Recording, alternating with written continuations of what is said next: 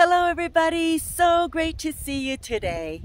Here I am visiting my sister in beautiful Colorado and we took this three hour drive and how well worth it it was coming to this Rifle Gap State Park. They had beautiful three waterfalls and I found this quiet place where they had this bulk of water and the beautiful trees in the background. Isn't it just gorgeous? You know, we were planning to come on the sister bonding trip getaway.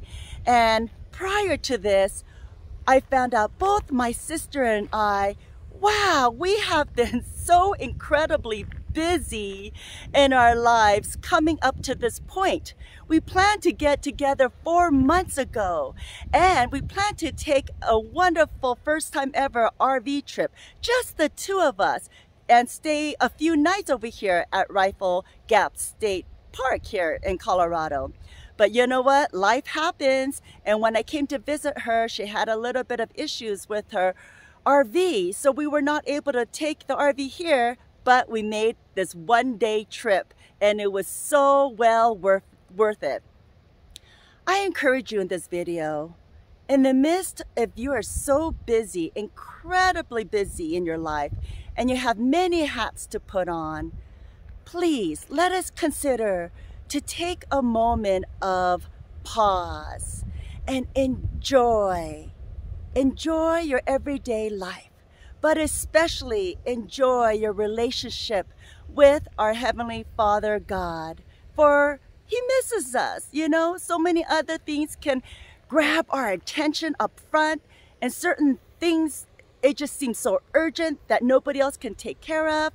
And we can be so busy with work or family or life or whatever things we're involved with. And we don't have that time to just pause well, I just came from those three waterfalls and wow, times of refreshing.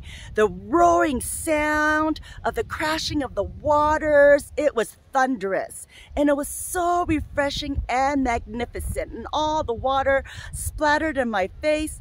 I thought of making a video for all of you over there, but it would have been too loud and I'm sure you couldn't hear my voice. So I came to this calm place here and it's just so beautiful. So in relationship with God, is reciprocal. Whenever we're in relationship with people, it cannot just be one-sided. And God, He wants to, for all of us to enjoy Him as well as He delights and enjoy all of us, His children. So let us just take this moment, if it's needed for all of you, to just enjoy God, enjoy the moment. Instead of having so many plans and business in our lives and to-do list and future-minded thinking, let us enjoy this each and every day and enjoy this beautiful, abundant life that God has given to each and every one of us. You know, it says in John 10, 10, that the enemy, he comes to steal, kill, and to destroy us. And he knows us pretty well. And he knows what can grab our attention and just pull us away from our attention to our Heavenly Father God.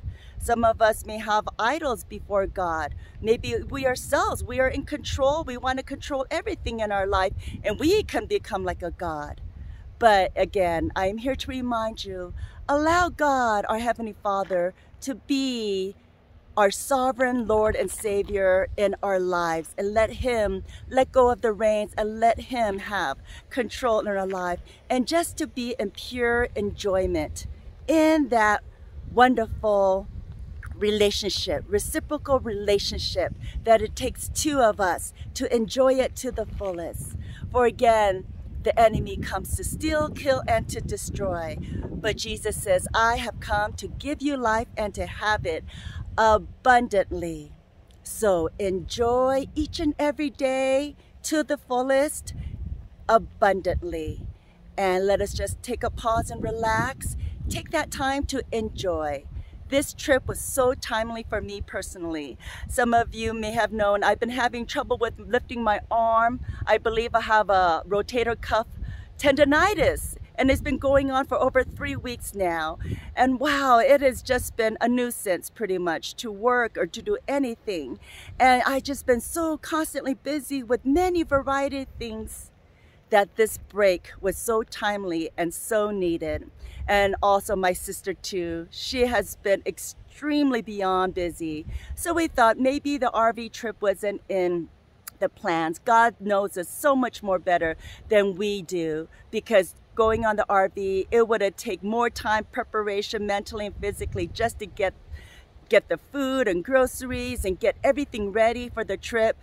No, we just are relaxing this one day trip and just enjoying each other's company as sisters and we get to enjoy the nature, this beautiful nature that God has given to us. Isn't it just glorious? So I hope that this video, if anything, you're just enjoying this nature and the beauty of God's creation. And I'm enjoying this R&R time, rest and relaxation. Let us enjoy life to the fullest. Again, Jesus came to give us an abundant life. And let us take it on and just embrace it and relish in enjoying God and in the Heavenly Father relationship with Him.